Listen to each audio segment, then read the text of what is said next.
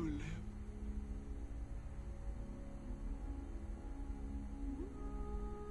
Come to die.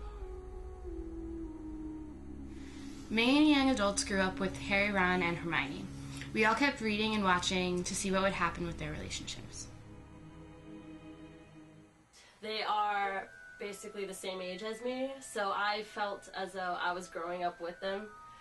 Uh, when the books came out, actually Harry Potter's birthday is my birthday too, and so he was like turning the same age as me. And when the books ended, I don't know, I felt like I was kind of their friend. Um, you know, as part of my childhood, like since when they started out was when we were, I was like 10 when they started out. So now, now that it's over, it kind of puts me back into reality.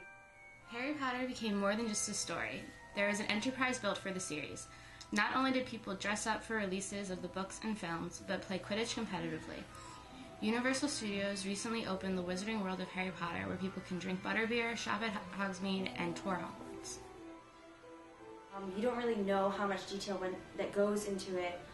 Um, I went to the Harry Potter exhibit in New York, and for example, Buckbeak, the creature that they had, every feather on it was hand stitched on, and it was incredible how real it looked, even though you knew it was a prop.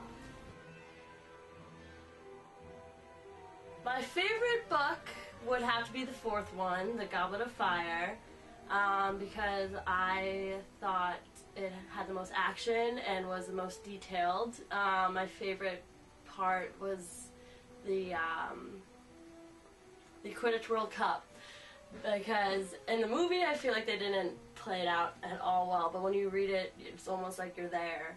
Um, and also, I thought the ending was good. I think it was the first sad ending, and it kind of brought reality back to things. My favorite book would definitely have to be the fifth one, The Order of the Phoenix, just because of the character Dolores Umbridge.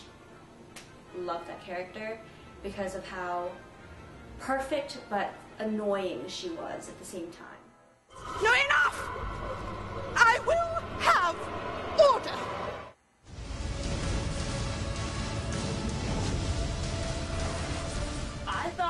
The last movie, part two, was very well done. Um, I usually reread the book before I go see the movie, but this time I didn't, so I was, I think, a lot less judgmental about it than I would normally be. Uh, but overall, I thought it was really great. The only uh, aspect I wish they did was the deaths of the characters. I think they should have played them out more because um, I know in the books I was a lot more emotional than I was while I was watching the movie. It was absolutely incredible. The way the sets, the how everything came tumbling down, epic. Did you ever make anything happen? Anything you couldn't explain? You're a wizard, Harry. I'm a what?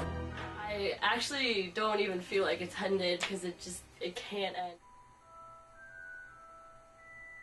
The stories we love best do live in us forever, so whether you come back by page or by the big screen, Hogwarts will always be there to welcome you home.